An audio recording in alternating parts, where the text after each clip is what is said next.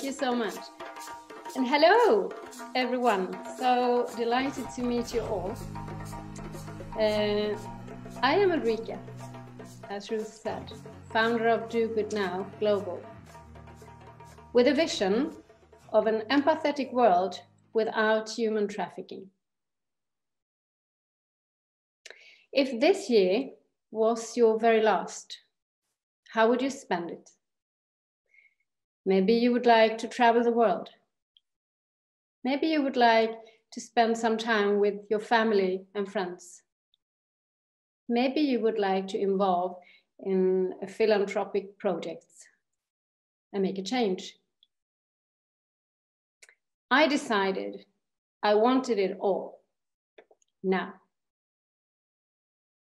So through the power of curiosity, which is one of my core values, I took my family and asked them, do you want to come on an adventure? So we traveled the world trying to do something in something good in every place that we came to. And what happened was that whether we were in Thailand working after the tsunami disaster, or if we found ourselves in Costa Rica working for women empowerment, or if we traveled to Nepal trying to do something against child trafficking, or if we just were on vacation in Dubai, we found that we are part of the demand for human trafficking. And I think there are, there are many ways to make a change.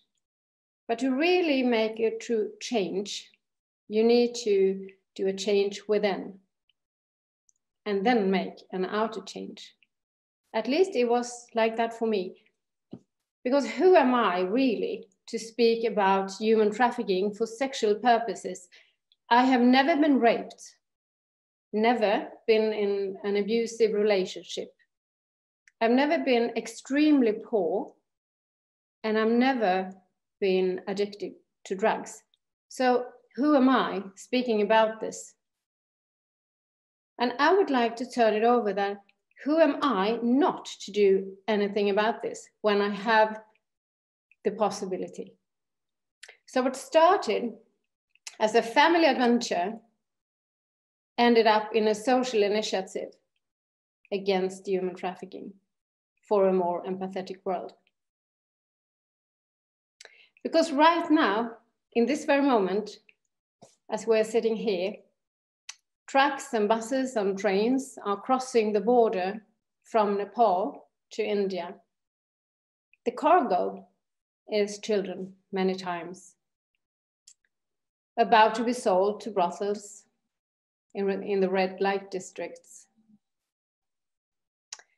Right now, as we're sitting here, uh, a mother receives $200 for her son or her daughter in the belief that, belief that the child will bring an income to the family and work abroad. The truth is, probably they will never meet again.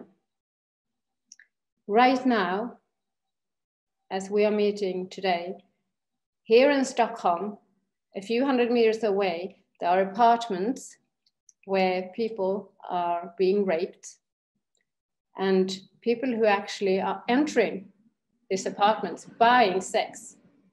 Or I would like to rephrase that. They are walking in the apartments raping because it's not on equal terms. So again, who am I to speak about this? I would like to share a story because once in an airport, I was people watching.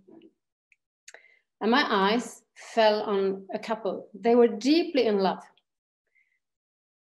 And I thought that if everyone felt, everyone in the world felt like they are feeling right now, we wouldn't have that feeling of scarcity of products or services or whatever, we would be totally satisfied.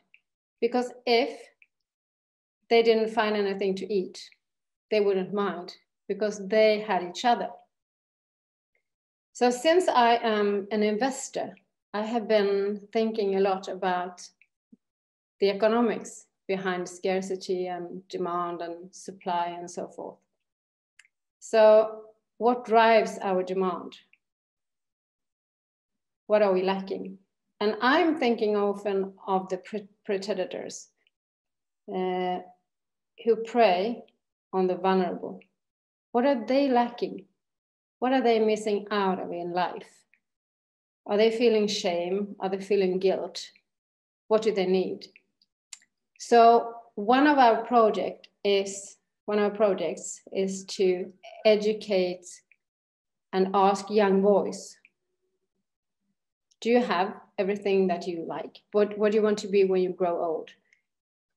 What do you what are your feelings? Express your feelings. And create a nice environment because i think it starts there. So we have we have a huge responsibility. And i also think that we talk a lot of human rights. We have the right to do this and that but it's time that we talk about human responsibilities and corporate responsibilities. Like you said, Danny, I couldn't agree more. We have to understand that we are part of the demand for human trafficking if we are staying at a hotel built of, uh, um, by slaves. We need to ask the question who built this fancy hotel? Who is cleaning in this hotel? What are their rights? We, we have to ask the company where we buy our clothes, which is your code of conduct? Do you have child labor in your supply chain? We have to understand that every choice we make, we can make a difference. And I also have been dwelling uh, very much about how I want to use my voice because I have been very shy in my life and I had a very weak fifth chakra, the communication chakra, the energy center from where you can speak the truth and you can communicate. So I decided when I have a voice, who am I not to use it for those who cannot speak right now? So I have decided that I will use part of my voice for the rest of my life to speak for those who cannot. And like you said, Danny, I really, really agree that you cannot save anyone, maybe small children, but when you when you think you save someone, you are as saved by that person. It's an interaction. And so much I have learned from all the women, all the men, all the children that I met. They have given me so much so much vulnerability and the access to my own vulnerability, the access to my own shame, the access to my own guilt. And I think it's through that that you grow. So I really do hope that when I'm hopefully 99 or so, my very last days, I will be able to say to myself, I tried the very best. And I hope that people around me would say about me that she really tried her very best. Thank you so much for listening and for having me today.